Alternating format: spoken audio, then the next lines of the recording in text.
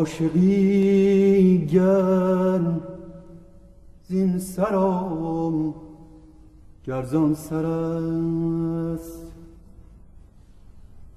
عاقبت ما را بدان شهر رهبر است. هرچه گویم عشق را هرچه گویم شرها بیان هرچه گویم عشق را هرچه گویم عشق را شرها بیان. بیان. چون به عشق چون آیم. به عشق چون به عشق آیم. چون به عشق آیم. خجل باشم از آن.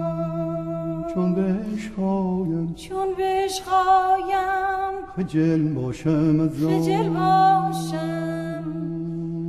خجل باشم از آن. چون قلم من در نوشتن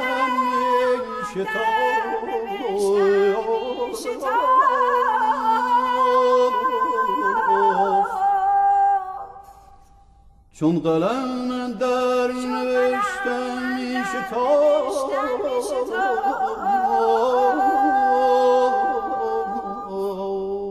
چون به عشق آمد چون به عشق آمد قلم بر خود قلم بر خود شکافت چون سخن در وصف این حالت در رسید. هم قلم بشکست و هم کاغذ بشکست هم قلم بشکست و هم کاغذ دری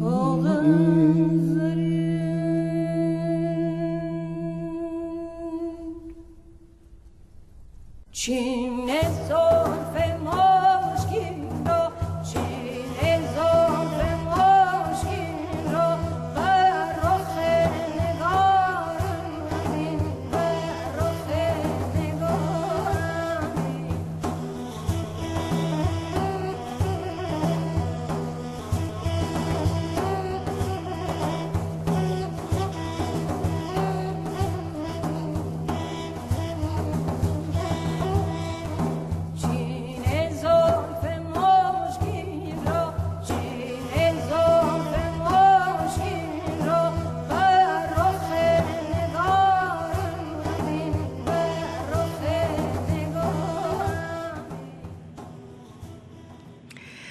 بله دوستان با درودی عاشقانه برنامه با هوا و حال دیگری رو در روز عشق با شما عزیزان آغاز کردیم.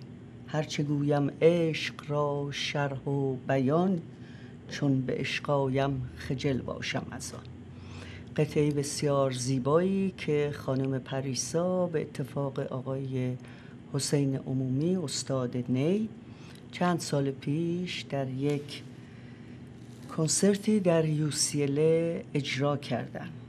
به هر حال ما با این واژه همیشه حالی خوش تجربه کردیم.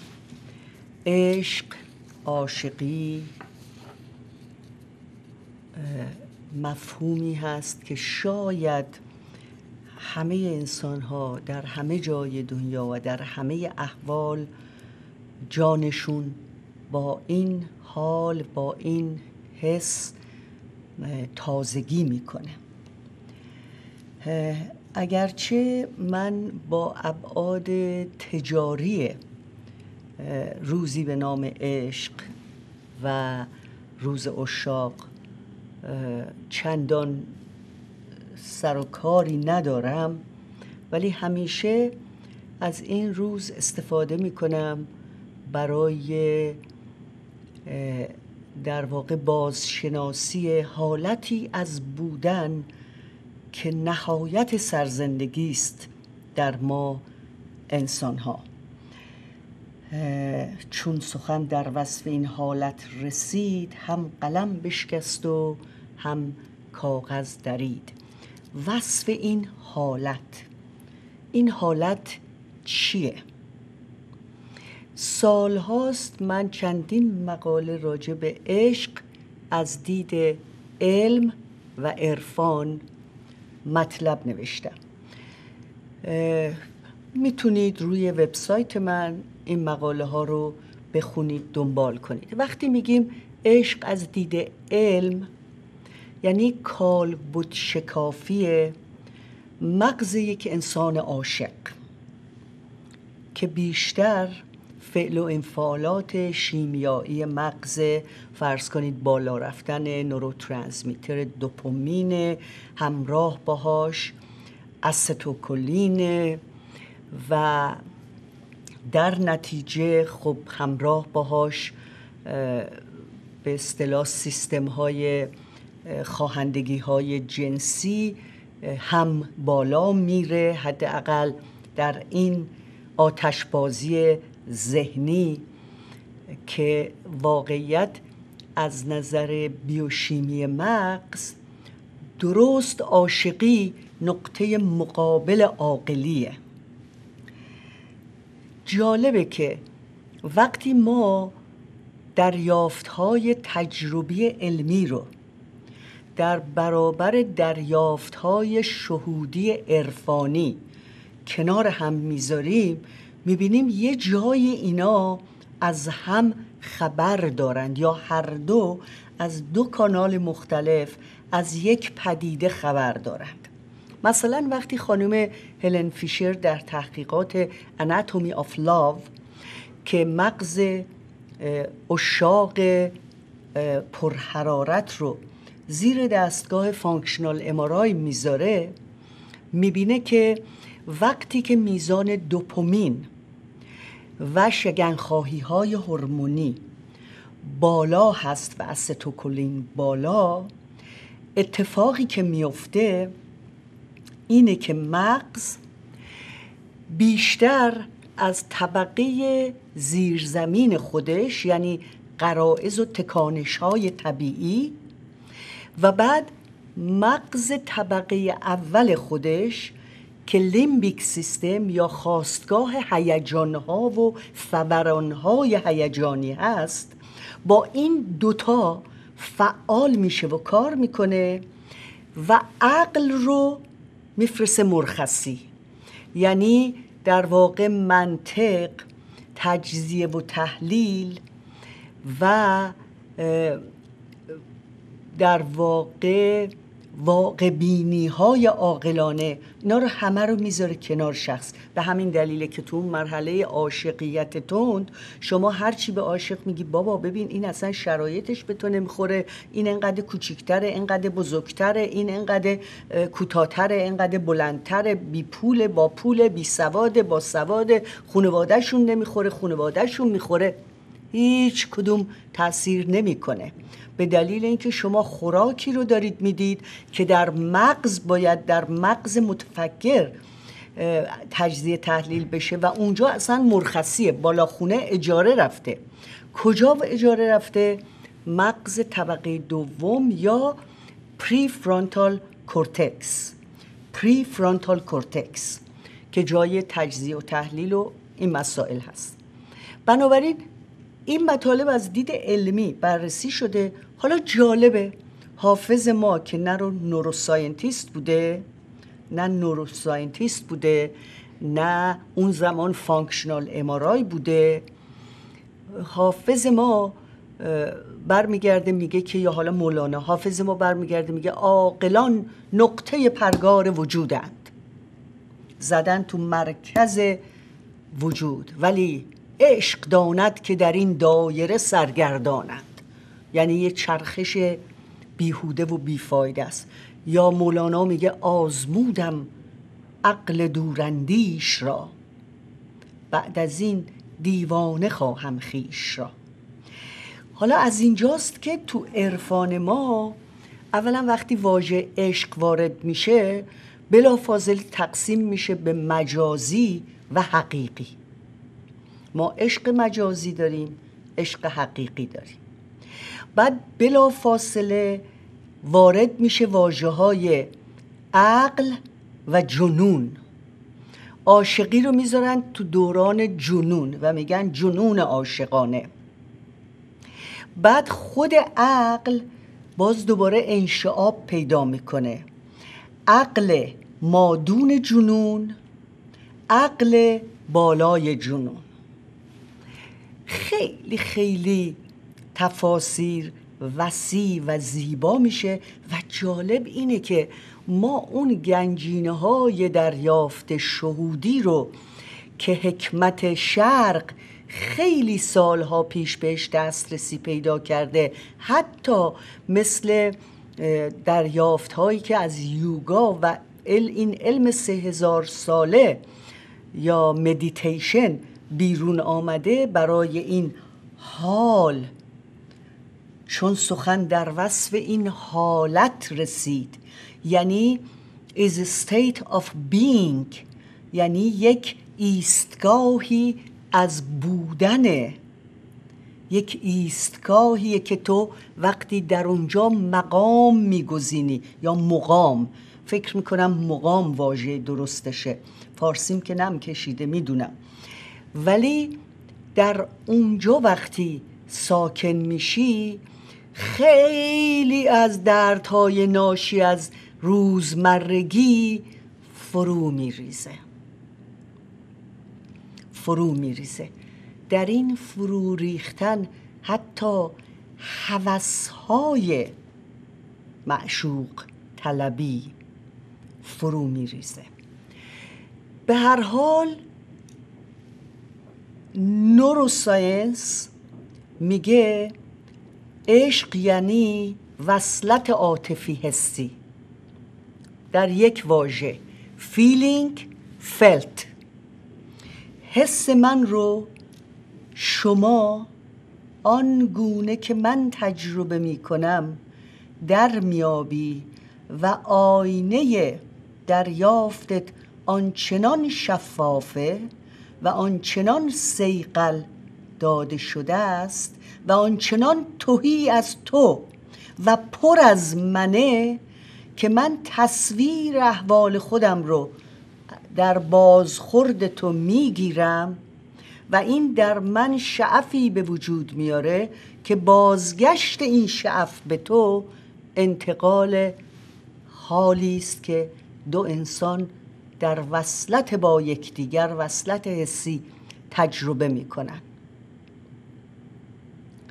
نشود فاش کسی آنچه میان من و توست تا اشارات نظر نامرسان من و توست. اونقدر حس به کلام نداره. امروز از کله سهر ما رو خفه کردن. I love you, I love you, I love you, I love you, I love you. زیباست.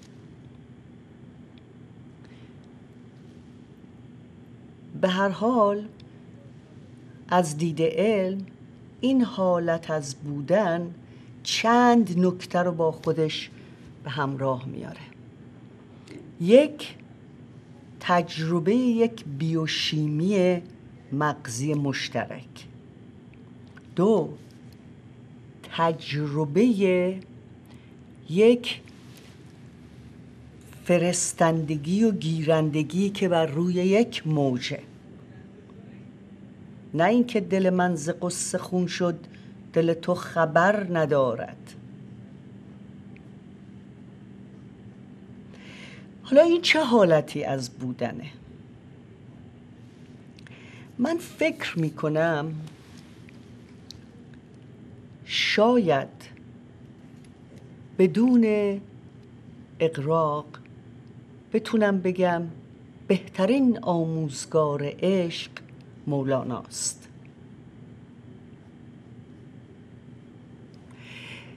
و جالب اینه که در جهانبینی این مرد عشق حرف اول و آخر رو می‌زنه و هدف زندگیه. به چه منظور؟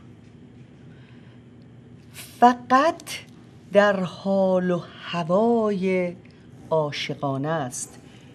که شما ابتدا با دیگری و سپس با دیگران و سپس با جهانی که تو رو محاصره کرده و جهانیان ارتباط برقرار می‌کنی. از طریق دل. اما دلی که از زنگار پاک باشه. زنگار دل چیست؟ سلطان عشق را گفتم که به خانه دلم فرود آیی گفت آیم اما کیست که پادشاه بر خانه دعوت کند؟ قبل از آن که خانه روفته باشد گفتم خانه را از چه بروبم؟ گفت از خشم و کینه و حسد و تنگ نظری و خست و نامهربانی. رفتم و خانه روفتم. فریاد زدم خانه روفتم. پادشاه عشق به خانه دلم فرود آیی. گفت آیم کیست که پادشاه به خانه دعوت کند قبل از آن که خانه آراسته باشد. گفتم خانه به چه بیارایم؟ گفت به تواضع به مهربانی به سخاوت.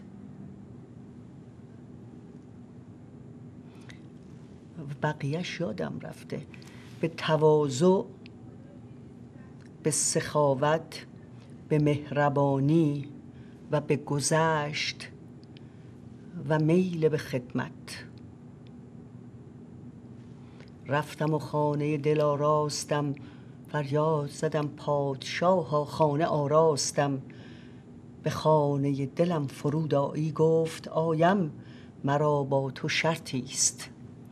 به خانه دلت فرود آیم اما در جایی مقام نگزینم که هر روز بر آراستگیت نیفزایی.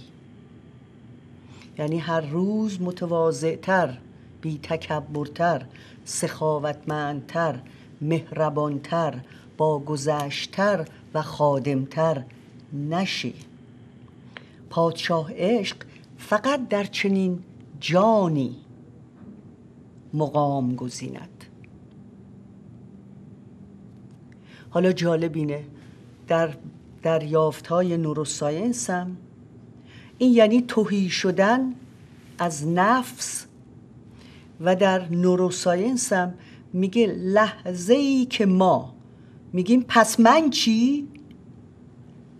نه پس من چی سالم ها خود دوستی آغاز دیگر دوستی است مسئله تمناهای نفس. به محض اینکه به فکر تمناهای نفس. حالا من یه خوردم بخندین. تو این یکی دو هفته معمولا ما مجروحین روز اشاق رو داریم. یعنی اینکه من براش گل خریدم. این حتی یه کارت واسه من ننوشت.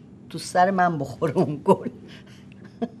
اون گل رو موقعی که خریدی اگه باهاش حال کردی و خریدی اگر خوشبخت بودی از اینکه کسی رو داری که این گل رو براش بخری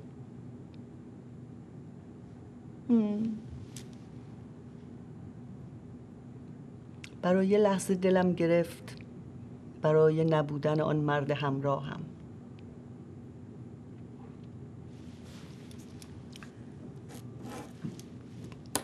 بله. به هر حال خوشبخت آن کسی است که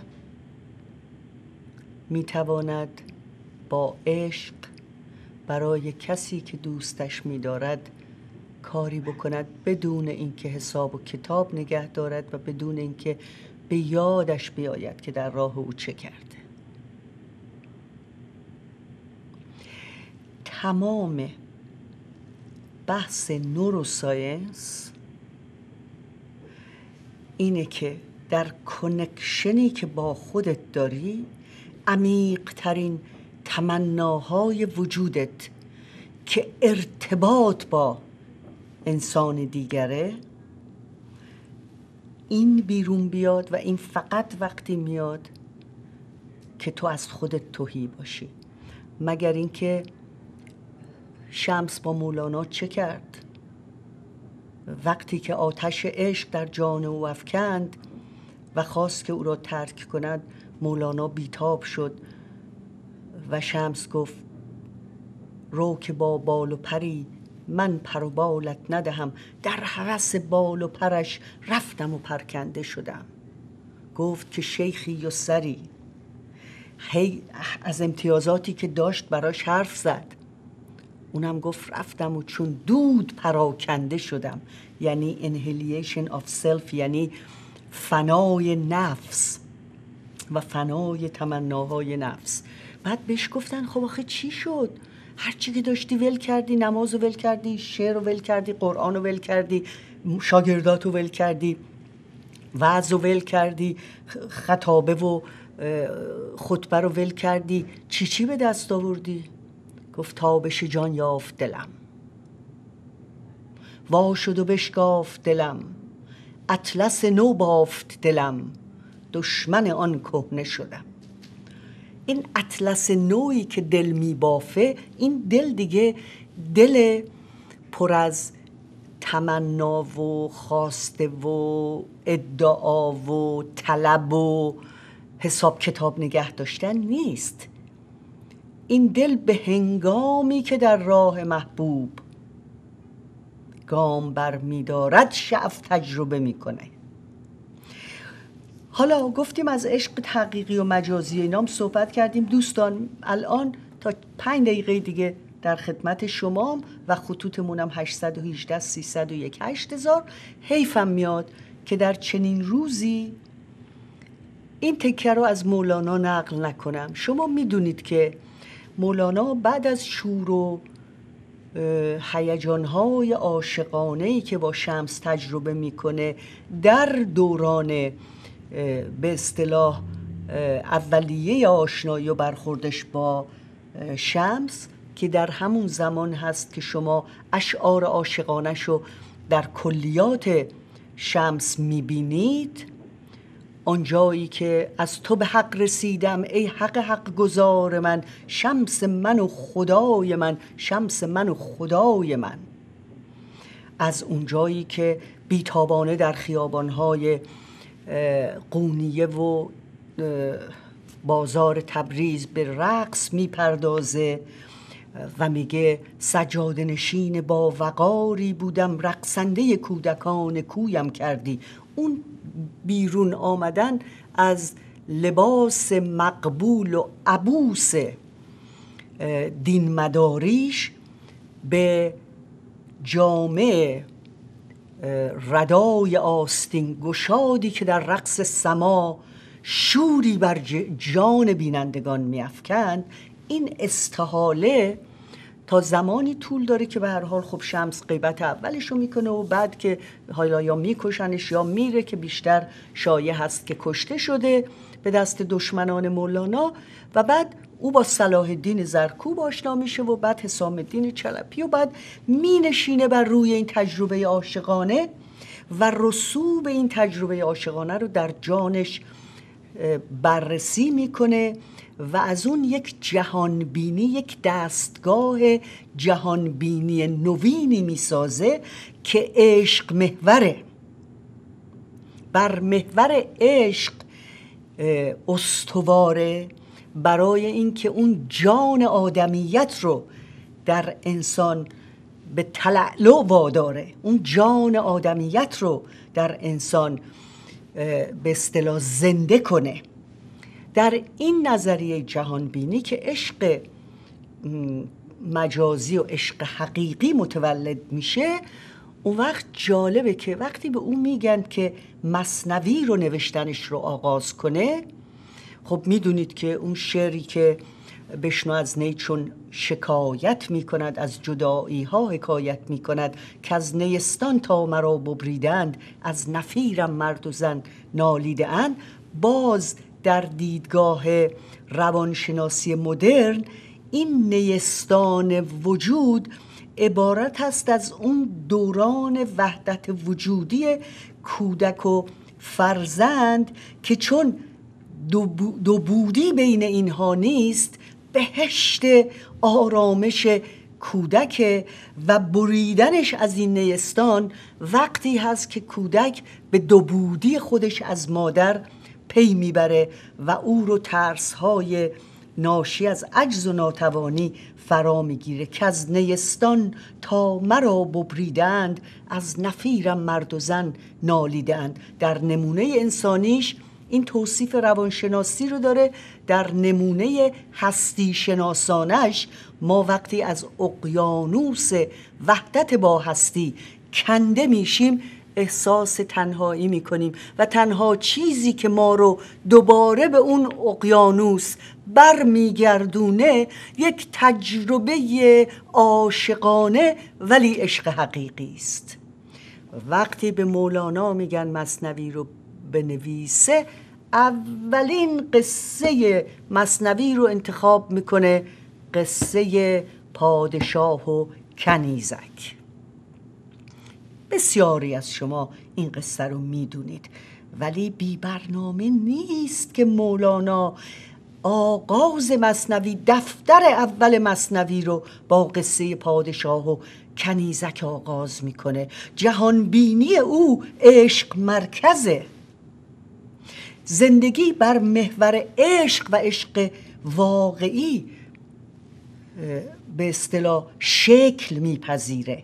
سلامت روان انسان هم به این بستگی داره. تا چنین تجربه ای رو نمی کنیم پریشانیم.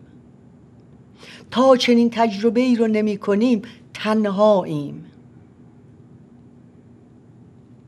در چنین تجربه ای شکلات و رز قرمز و جواهر و عکس قلب و کلمات چندان اعتباری ندارند.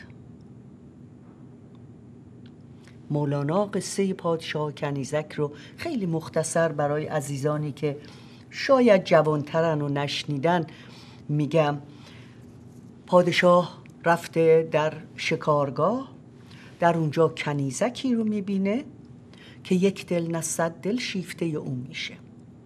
طبق روال درباریان دل او در هوس هر آن کس که افتاد باید او رو در اختیارش بگذارن. دستور میده کنیزک رو به هزار جامعه ملون بیارایند و شبانگاه بر سرای پادشاه آورند. پادشاه با دیدن کنیزک انان دل از اختیارش میره و به سمت کنیزک میره و کنیزک روی از او بر میتابه و روزها میگذره و کنیزک در این انزوا و تنهایی بیمارتر و بیمارتر و بیمارتر میشه. پادشاه که نه یک دل بلکه صد دل در گرو کنیزک داره به تمام طبیبان جسمانی فرمان میده در درمان او کوشا باشند. هر درمانی مفید نیفتاده نتیجه بارو نمیده. پادشاه خبردار میشه که محبوب او در حال مرگه. و در اثر این استیصال و پذیرفتن ناتوانی و عجز خودش در برابر دستگاه عظیم عاشقانه هستی سراسیمه و پای برهنه به مسجد میره و در شبستان مسجد از خدا می‌خواد که شفای کنیزک رو به او بده و او دیگر طمعی در جان کنیزک نداشته باشه. با گریه او رو خواب فرا می‌گیره و در خواب یک طبیب روحانی بر او ظاهر میشه و میگه فردا از کنار قصر تو عبور می‌کنم ملازمان و به اصطلاح نوکران و چاکران خودت رو به استقبال من نفرس. خودت با پای پیاده به بیرون قصر بیا تا مرا به سرای کنیزک هدایت کنی. پادشاه چنین می کند بنابراین شرط اولش تواضع بود. به خانه دل من فرود آیی آیم. تکبر ملوکانه رو کنار بگذار و با تواضع و پا برهنه خودت به سراغ طبیب روحانی بیا. طبیب بر سر بالین کنیزک میره و بیماری او را بیماری عشق تشخیص میده. به پادشاه خبر میده جان او در گرو عشق مرد زرگری است که در دهی نزدیکی اینجا ساکن داره. او دل سپرده این مرد زرگره. پادشاه میگه چه کنم؟ میگه مرد زرگر را بیاورید تا با او کامجویی کند. حالا نگاه کنید پادشاه خودش ظاهرا عاشق اینه اینو می‌خواد به عنوان محبوبی که باهاش حال کنه. طبیب روحانی میگه باید بدی یه کسی دیگه ای که او دوست داره. خب؟ درست مثل این عاشقا که میگه اگه منو دوست نداری و بفهمم یه کسی رو دیگر رو دوست داری هم تو رو می‌کشم هم اونو. این دیگه نهایت عشق یا غیرت عاشقانه. به هر حال پادش... پادشاه میفرسه چوب مرد زرگر رو میارن. کنیزک با او کامجویی می‌کنه. هر روز سرخ و سفیدتر میشه حالش بهتر میشه. در این کام روایی ها طبیب روحانی می‌خواد به پا- به پادشاه بگه حتی این هم نمونه ای از عشق واقعی نیست عشق حقیقی نیست. این هم عشق مجازیه. یعنی حتی تو اگر با او کام روایی کرده بودی و او با تو گل میانداخت هنوز این عشق مجازی بود. به تدریج به مرد زرگر سمی میخورونند که اون کم کم زرد چهره و نحیف و زشت و شکننده میشه. به سوی مرگ میره. قبل از اینکه مرد زرگر بمیره عشق او در دل کنیزک مرده. و پادشاه متوجه میشه که کنیزک به مرد زرگر دیگه توجهی نداره. اینجا مولانا میگه عشقهایی که از پی رنگی بود عشق نبود عاقبت ننگی بود. مسئله تسخیر جسمانی محبوب باز به اون چیزها برمیگرده. سپس کنیزک قبل از مرد زرگر قطب نمای دلش میل به سوی پادشاه دارد. ولی مگه مولانا من و توییم که این قصه رو این گونه به پایان ببره که حالا پادشاه میگه دیدی؟ از اون که به جایی نرسیدی حالا بیا پیش خودم. نه مولانا قصه رو این گونه تمام نمی‌کنه. بلکه مولانا قصه رو این گونه تمام می‌کنه که میگه تجربه عاشقانه با کنیزک مرا به سمت عشق حقیقی سوق داد. عاشقی گر زین سر و گرزان سر است عاقبت ما را بدان شه رهبر است. یعنی چی؟ یعنی اینکه من از طریق این فنای نفس از طریق این تواضع از طریق این ایثار و گذشت و از طریق این تسلیم در برابر حقیقتی بس بزرگتر از حقیقت هوسرانانه من به عشق واقعی پی بردم که برای پادشاه این عشق واقعی فناع خیش است در ذات حق. حالا حتی ما اگر این فنایی مرحله فناع در حق رو جزء توان ذهنیمون نیست. جزء میگن موقعی که اینشتین میگه که به اصطلاح کهکشان هایی هست که یک billion سال نوری با ما فاصله دارن. ما میگیم خب به چه درد ما می‌خوره بفهمیم. یک billion سال نوری اونجا چه خبره؟ ولی اینشتین میگه این فقط imagination یا تصور یا تخیل ما رو از هستی بزرگ می‌کنه. قصه کنیزک و پادشاه هم تخیل و تصور ما رو از ایثار عاشقانه گسترش میبخشه. روز عشق به همه شما عزیزان مبارک. باشد که عشق بتواند در دل دنیای ما آنچنان رسوخ کند که از تمناهای نفس حداقل اندکی فاصله بگیریم روان آنکه بسیار دوستش می داشتم و دارم و خواهم داشت در چنین روز شاد. بفرمایید دوست عزیز با شما هستم. سلام دکتر. سلام خانم دکتر ممنون. از برنامه خوبتون. یه سوال داشتم. گفتین که فرد وقتی عاشق میشه عقل خودش رو از دست میده و نمی‌تونه تصمیمات درستی بگیره. خب این برای این فرد خوب است یا بیشتر نه؟ چون بیشتر مضر به نظر می‌رسه. خیلی خوب. برای همین اطرافیان باید در این شرایط تلاش کنن مانع از تصمیماتش بشن؟ نه. نه. تصمیم- اطرافیان اطرافیان باید بدونن این جنون طبق مطالعات خانم هلن فیشر ماکسیموم نه ماه تا یک سال دووم داره. تو اون نه ماه یک سال خیلی سر به سرش نذارن فقط بهش بگن تصمیم گیری رو به عقب بنداز. همین.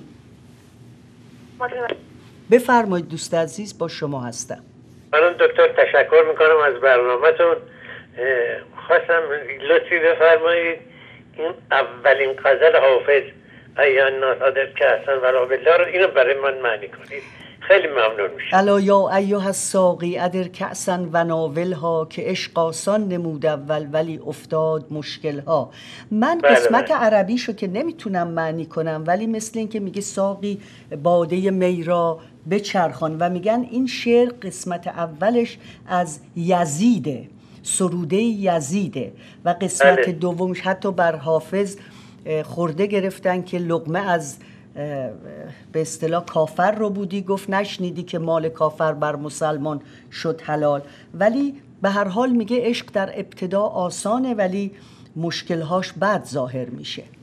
بفرمایید دوست عزیز با شما هستم. خواستم با دکتر با خانم دکتر صحبت من فرنودی هستم. بفرمایید عزیزم. بفرمایید خانومم. سلام خدمت شما می‌کنم. قربونتون برم. خدا نکنه. که روز عشق به دو مبارک باشید من یه زن هشتاد و دو سالم. دلم می‌خواد دختر دوم شب بودن. می‌خواستم بدون تبریک بگم. که خواهش. همچی دختری تربیت کرده خواهش می‌کنم. انسان واقعی. ممنون. شما انسان واقعی هستن ممنون خانومم ممنون عزیزم مرسی. بفرمایید دوست عزیز با شما هستم. همه خطوط من روشنه من کوتاه سلام میگم بفرمایید عزیزم. من از ایران زنگ دخترتون. لطف دارید بفرمایید. خانم دکتر. جان دلم بفرمایید. قربان شما بدم. خانم دکتر ببخشید. من یه موردی داشتم قبلا با حضرت علی چند سال پیش صحبت کردم. اولا از شما سپاس گذارم. استفاده می‌کنم. مستفید میشم از فرمایشات خوب شما یادآوری شما از پدر دکتر نیلی به قدری زیبا بود که مرا واداشت روز ولن- ولنتاین را به شرف نیک شما تبریک بگویم. ممنون خیلی من ممنون. سال مرسی. پیش زمانی که دو فرزندم دانش آموز بودن بله. به از ایران به دفتر شما به مطب حضرت علی زنگ زدم.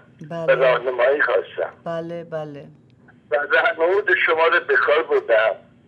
و امروز بسیار خوشحالم. یکی, تپ را به اتمام رسانده و دیگری در آستانه اتمام آن است. از ممنون شما بسیار بسیار سپاسگزارم. سپاسگزار از لطفتون آقا. مرسی. بفرمایید تمام دوستان رو خطن. بفرمایید عزیزم. خانم فرمودی عزیز. جونم. من شیرین تفضلی هستم. من اونقدر دوستتون دارم. ممنون رفت خانم. توی لپتاپ خریدم الان توی بیمارستانم. آخش. خواستم روز ولنتاین رو بهتون تبریک ممنون. خانومم ممنون. انشالله شما هم صحت و سلامت خودتون رو به دست بیارید. بله. راجع به مطالبی که گفتیم مهمان اون مهمانی که در دل آدم میاد باید خودمون رو یه قسمت از کتابم رو می‌خونم میگم نمی‌دانم که هستی نامت چیست کجا هستی چه شکلی داری؟ می‌دانم یک انرژی لایزال هستی. روح من تو را طلب بکند تو را می‌خواهد. تمام وجود من اشتیاق دیدن تو را دارد. مشتاق. کسی است که به خانه دلم بیاید می‌دانم. مرسی عزیزم. عزیزم، همه. خ- همه خطوط- زیاد. ممنون عزیزم. مرسی. همه خطوط من روشنه. بفرمایید دوست عزیز با شما هستم. سلام خانم فرنودی. خسته نباشید. ممنون بهتون مرسی. ممنون ایرانی مرسی. عاشق شما اینو حتما دیگه می‌دونید والا نه این خبرام. نیست. میگم این خبرام نیست باید فوشایی که تو فیسبوک به هم میدن ببینین. خب اونا خودشون مشکل دارن اونا خودشون. حالا اب نداره بفرمایید. انتخاب شد. حالا اتفاق خوب شد تا مردم بشناسنش. حالا من می‌خواستم بدونم باشم چرا عاشق گریه می‌کنه. عاشق گریه می‌کنه. من می‌دونم عاشق دلش خیلی لطیفه. من می‌دونم همه حواس همه احساساتش لطیفتر از آدمای دیگه است. بله اگر اگر غمگین باشه گاهی از شوق گاهی از اندوه گریه می‌کنه. بفرمایید دوست عزیز با شما هستم. بفرمایید دوست عزیز. بفرمایید دوست عزیز با شما هستم. سلام خانم دکتر فرنودی سلام من عزیزم اه، فقط خواستم این روز رو به شما به خاطر عشقی که به مردم دارین به خرد و آگاهی دارین به علم و آزادی دارین تبریک بگم و بسیار سپاسگزارتون. ممنون خانومم از این همه لطفتون. بفرمایید دوست عزیز با شما هستم. بفرمایید. بله بله. من جانم. خیلی سخت شما رو گرفتم و چقدر خوشحالم که تونستم با شما صحبت کنم. مرسی عزیزم بفرمایید. خواستم خدمتتون بگم برنامه شما کی تکرار میشه؟ به خدا من نمی‌دونم. بذارید بیا الان بگم م- کارگردان فنی برنامه. شنبه ها هشت شب.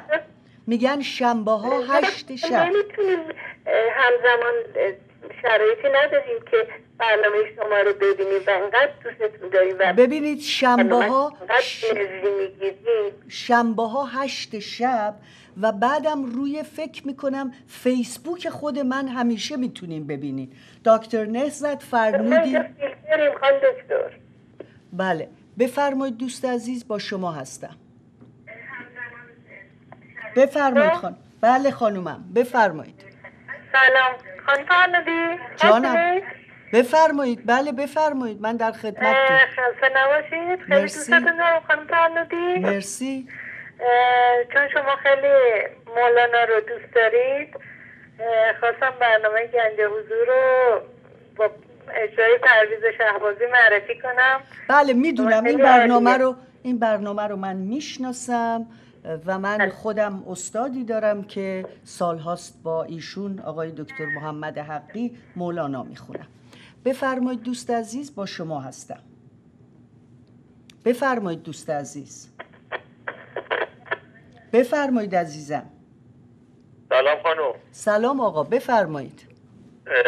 خسته نباشید. من یه مشکلی داشتم. می‌تونم الان با شما مطرح بکنم؟ مشکلات فردی رو ساعت 11 با تلفن 818 70 80 222 بفرمایید دوست عزیز با شما هستم. بفرمایید عزیزم. بفرمایید دوست عزیز با شما هستم. سلام عرض می‌کنم سلام. بارهان خلص من قبل دیگه تبریک نمیگم چون من از کافی بدون تبریک گفتم و خوشحال شدم از این برنامه قشنگی که اجرا کردین خواستم بگم که بس بر چیز خانم هلن فیشر که میگن که اگر که نه ما سب کنن چیز میشه پس پسرای من که هر دوشون بعد از 7 سال سر جاشون وایسادن و با همون عشق اولیه‌شون ازدواج کردن. اینا باید بگیم عشقشون حقیقیه دیگه مجاز بله نبود. بله اجازه بدید. حالا من اینو اتفاقا توضیح میدم.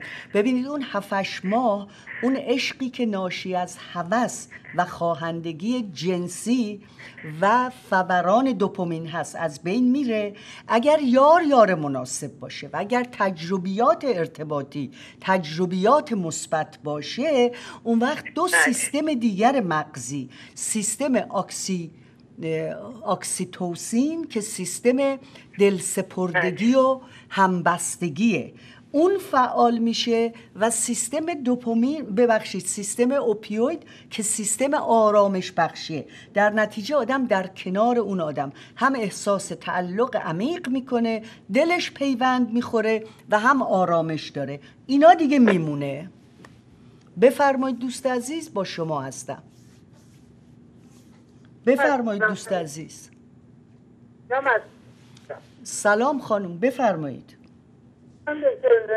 ضمن تبریک خدمت شما برای روز عشق بهتون افتخار می‌کنیم که ادبیات فارسیتون نسبت به سالهای سال که ایران تشریف نداریم بسیار عالیه یه سوالی از حضور شما دارم که خواهش می‌کنم خیلی کوتاه جوابم بدین آیا. یک سایکولوژیست یک روانشناس اگر خودش بیماری داشته باشه بیماری بایپولار یا بیماری دیگه روحی روانی آیا خودش تشخیص میده و آیا می‌تونه خودش رو درمان کنه خودش یا باید به دیگری مراجعه اگر روانشناسی اگر روانشناسی بیماری خودش رو تشخیص نده حتما قادرم نیست که بیماری دیگران رو تشخیص بده. معمولا دانشگاه های خوب قبل از اینکه شما رو به عنوان یک روانشناس به اصطلاح مدرک تحصیلی بهتون بدن از شما می‌خوان که برای مدتی توی تراپی برید و با یک کسی دیگه ای کار کنید تا بر زاویه های تاریک وجود خودتون وضوح و روشنایی پیدا بکنید تا بعد بتونید به اصطلاح اون مسائل رو از طریق انتقال بر روی دیگران خالی نکنید. دوستان عزیزان من به پایان برنامه رسیدم. بار دیگر اضافه می کنم هر چه گویم عشق را شرح و بیان چون به عشق آیم خجل باشم از آن. خب دختر ما هم روز دختر ما هم آمد ما رو سپرایز کرد. از همون چیزایی که. از همون چیزایی که از همون چیزایی که الان گفتم بالاخره به منم رسید. خب با شما خداحافظی می‌کنیم. روز و روزگار به شما خوش.